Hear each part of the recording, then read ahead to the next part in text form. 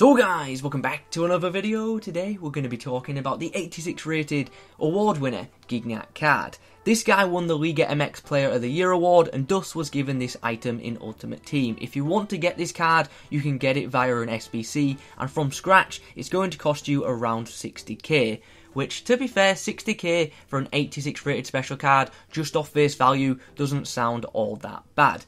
Anyway, before we get into this review, if you could leave a like on the video, that would be awesome. In the comments below, let me know if you're going to get this card, and be sure to subscribe to the channel if you are new around here.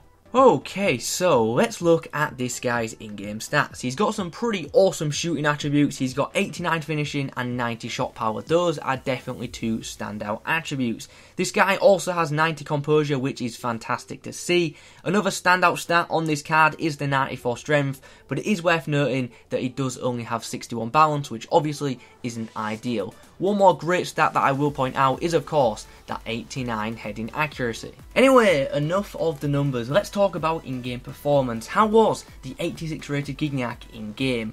He was pretty good. He was pretty good. He's obviously not the quickest of forwards or the best when it comes to dribbling, but when it comes to scoring goals and taking chances, this guy is top class. He is a certified finisher.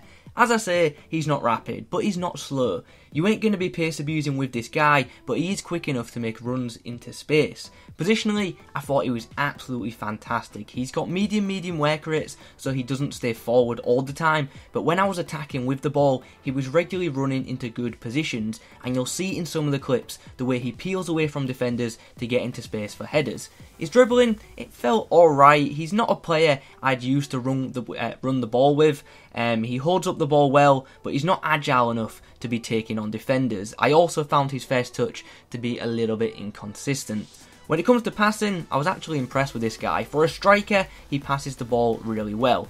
Don't get me wrong, he's no Iniesta, he's no David Silva, he's not gonna, you know, dictate play, he's not gonna be that creator, but considering his role, the fact he's a striker, I think his passing is up to scratch, his short passing game was really good.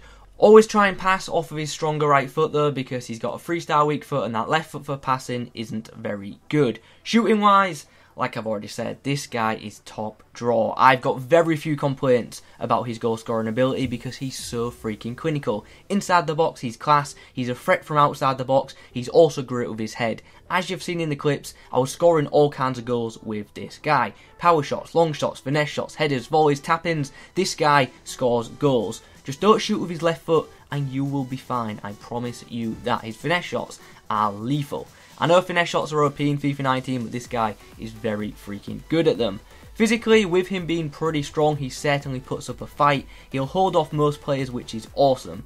As we do know though, he does not have good balance. But if I'm being fully honest, I actually didn't have too many issues with his balance. For me, Gignac only got taken down and ended up on the ground when he got fouled. His strength and hold up play can certainly frustrate opponents, and it just leads to them fouling the guy. Um, he stands at six foot two, and he's got a decent jumping stat for a tall forward. He's got head 89 head accuracy, so yeah, he is definitely an aerial threat in front of goal. And he's also a great player to aim for when taking goal kicks. His stamina of 75 isn't particularly great, so he will be pretty tired toward the end of matches. Overall, though, I've got to say, I'm pretty happy with this card. His goal scoring ability, like I keep saying, is top class. And at the end of the day, a striker's job is to score goals. This guy does that. He's not a forward who you're going to use to run at defences with. He's not a player who's going to create loads of chances. He's there to finish off those chances. So if your team's lacking a finisher, this guy could be a great addition to your club. This guy works in one and two striker formations and he can work as a starter or as an impact sub. I don't think he'll suit everyone's style of play. If you like to run with your forwards, I wouldn't advise getting this guy, but if your playstyle revolves around the target man, this card should certainly be considered. If you're going to put a chem style on him, I'd advise using the engine chem style as that'll boost his pace, passing and dribble in free areas, which could do with some improvement in my eyes. So yeah, those are my thoughts on the award winner Gignac. Do I think it's worth picking up? Yeah, I do. 50, 60k for this card is worth it in my opinion. Um, he could definitely be a pretty good super sub. Anyway guys, in the comments below, let me know your thoughts on this card. If you have enjoyed this video, please remember to leave a like on it. Comment below your thoughts as I've already said. Subscribe if you're new. Thanks for watching. I'll catch you in the next one.